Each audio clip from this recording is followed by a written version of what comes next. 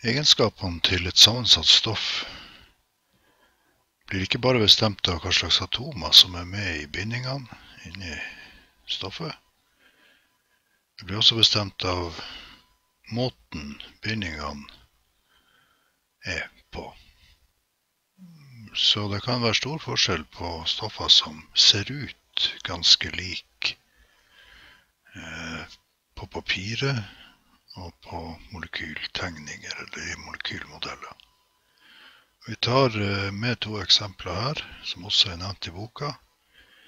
Det ene eksempelet er karbonoksidene CO2 og CO.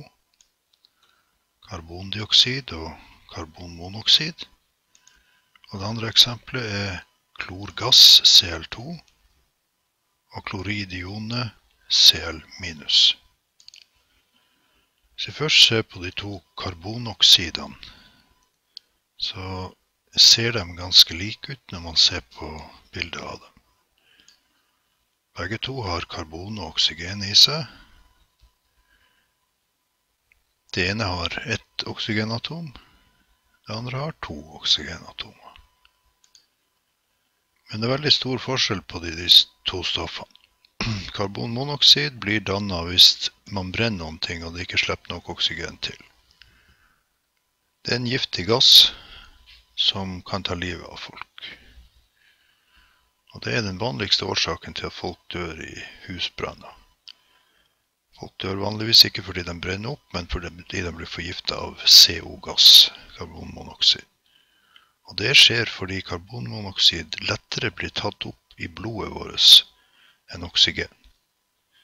Så CO-molekylet fester seg lettere på hemoglobinmolekylet i de røde blodlegemene, og er derfor veldig, veldig farlig for oss, selv i ganske små mengder.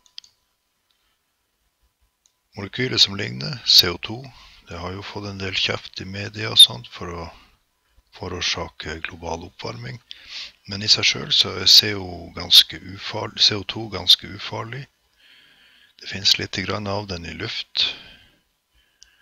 Eh, den oppstår når man brenner tre eller lignende ting, og har nok oksygen. Den er ganske ufarlig. Hvis man bobler CO-gass ned i en væske, så får man danna kullsyre. Og det er jo da vanlig i brus. Så til de andre to, som har med klor å gjøre. Det ene, CL2. Klorgass er en giftig gass. Den er gulgrønn. Den lukter fælt. Og den er veldig giftig. Du kan fort bli forgifta av den hvis du står i klorgass. Det andre klorgreia her, da, Cl-ionet. Det finner du jo i vanlig koksalt. Det har slått seg sammen med natrium. Man har fått natriumklorid, NaCl. Det kan løses opp i vann, du kan drikke det, og du kan strø salt på maten. Det er fullt av kloridioner i maten du spiser, i smør.